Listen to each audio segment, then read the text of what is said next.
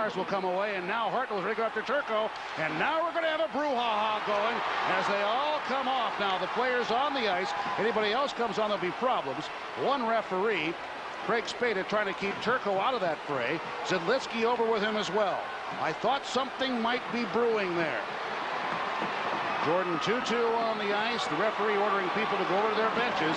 And Tootoo taking a couple of left hands. Now Turco comes over. Turco going after Tootoo with uh, Zidlicky trying to hold up the Dallas goaltender. One linesman finally gets Philippe Boucher out of there. I knew that Scott Hartnell was uh, going to express some disappointment.